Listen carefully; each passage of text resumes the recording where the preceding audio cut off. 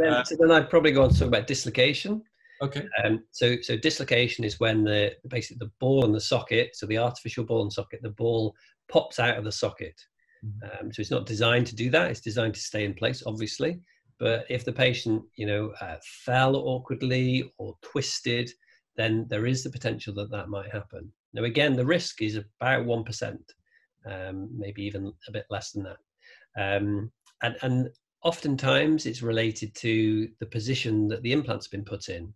So, you know, down to where they were positioned at the time of surgery, um, and, and that in combination with the way the patient moves. And, and sometimes it's a, a, truly traumatic event, you know, someone falls down the stairs or something like that and they get their leg caught, you know, Yeah. then obviously they can injure any joint. But, um, uh, but sometimes it can be something quite innocuous, like just reaching down to sort of uh, tie your shoelaces or something like that. Um, but but m- most situations, if it dislocates, you know that's quite a, a sudden event. Obviously, it's painful. Um, you know, you can't walk, um, so people would end up in uh, you know in A and E essentially, um, and then we'd have to have a, an anaesthetic to to put the hip back in. So generally, with a, a manipulation, not opening up the hip, but with the manipulation, you can most times get the hip back in. So, so, And- so, so no, no, surgery, just kind of position. Yeah, so yeah, yeah, yeah. So an anaesthetic, but but no kind of open surgery. And and the vast majority of times, you know, that that wouldn't go on to then be you know, a recurrent problem, Mhm. and the patient would recover, go home, and then you know get on with things. Um, but in some cases, it, it may go on to be a recurrent problem, and the hip then keeps dislocating.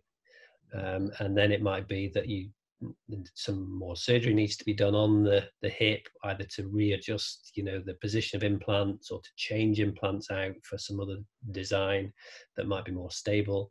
Um, so, so yeah, so dislocation again can lead to revision in some situations.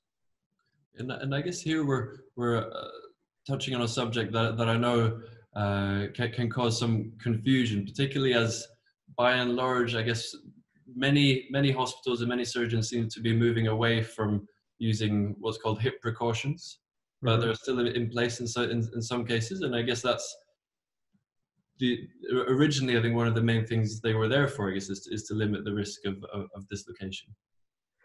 Yeah, so I mean, that's an interesting topic you, you Uh. touched on there, and it's a bit of a minefield if you if you think about it actually. Um, so so yeah, hip precautions are these things that that people are often instructed to do after surgery, and the, the common things are to sleep on your back, you're not to lie on your side, not to cross your legs, and then not to bend the hip more than ninety degrees. Um, to kind of like bending down to touch your toes and, and, and things like that. And and that might be anywhere from maybe six weeks or even 12 weeks in maybe more extreme examples. You know, and that and that actually it's it's a historical uh, thing. So uh, at Wrightington where I work, that's where John Charnley started doing hip replacement. And you know, initially they had patients in bed for you know a week after surgery.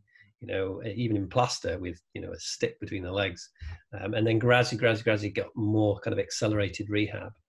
Um, but the hip precautions kind of stayed. Um, and we actually are in process of, of doing a randomized trial about hip precautions versus no hip precautions. And does that actually, you know, reduce the risk of dislocation? Does it affect, um, you know, the, the, the, functional outcome of patients? Um, because many patients find it really hard to sleep on their back. Um, and, and, avoid doing those things. It's very, very difficult.